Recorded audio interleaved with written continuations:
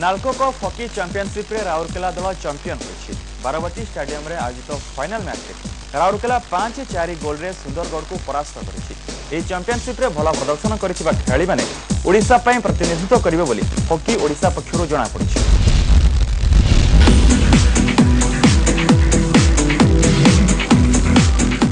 NALCO cup hockey ଚାମ୍ପିଅନସିପ୍ର final ମ୍ୟାଚ୍ରେ ରାଉରକେଲା ଭେଟିଥିଲା ସୁନ୍ଦରଗଡ଼କୁ। ବାରବାଟୀ ଷ୍ଟାଡିୟମରେ ଆୟୋଜିତ ଫାଇନାଲ ମ୍ୟାଚ୍ ବେଶ୍ ରୋମାଞ୍ଚକର ହୋଇଥିଲା। ମଧ୍ୟାନ୍ତର ସୁଦ୍ଧା ଉଭୟ ଦଳ ଦୁଇଟି ଲେଖାଏଁ ଗୋଲ୍ ଦେଇଥିଲେ। ନିର୍ଦ୍ଧାରିତ ସମୟ ଭିତରେ ଉଭୟ ଦଳ ଚାରୋଟି ଲେଖାଏଁ ଗୋଲ୍ ଦେଇଥିଲେ। ଗୋଲ୍ ସମାନ ଥିବାରୁ ଅଧିକ ପନ୍ଦର ମିନିଟ୍ ଖେଳ ହୋଇଥିଲା। ଆଉ ଏହି ପନ୍ଦର ମିନିଟ୍ର ଶେଷ ବେଳକୁ ରାଉରକେଲାର ଦୀପକ କୁଲୁ ଗୋଲ୍ ଦେଇ ଦଳକୁ ଚମ୍ପିଆନ କରାଇଥିଲେ।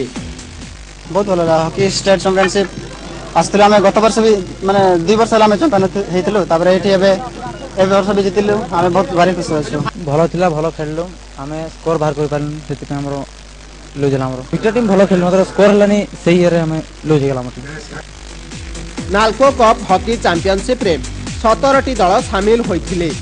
ଏହି ଚାମ୍ପିଅନସିପ୍ରେ ଶ୍ରେଷ୍ଠ ପ୍ରଦର୍ଶନ କରିଥିବା ଖେଳାଳିମାନଙ୍କୁ ନେଇ ରାଜ୍ୟ ହକି ଦଳ ଗଠନ ହେବ ବୋଲି ହକି ଓଡ଼ିଶା ପକ୍ଷରୁ କୁହାଯାଇଛି। ଏଥିରେ ଭଲ ଭଲ ଟ୍ୟାଲେଣ୍ଟ ସବୁ ବାହାରୁଛନ୍ତି। ନୂଆ ନୂଆ ଟ୍ୟାଲେଣ୍ଟ ମଧ୍ୟ ଆସୁଛନ୍ତି। ଯେଉଁଟାକି ଆମେ ଜାଣିପାରୁନଥିଲୁ।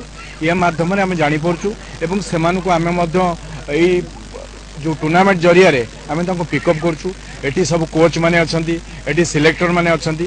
ସେମାନେ ସବୁ ସମସ୍ତଙ୍କୁ ମାନେ ଦେଖୁଛନ୍ତି ସମସ୍ତଙ୍କ ଖେଳ ନିରୀକ୍ଷଣ କରୁଛନ୍ତି ଏବଂ ତାପରେ ମଧ୍ୟ ଆମେ ତାରି ଭିତରୁ ଆମର ଷ୍ଟେଟ୍ ଟିମ୍ ବାହାର କରୁଛୁ।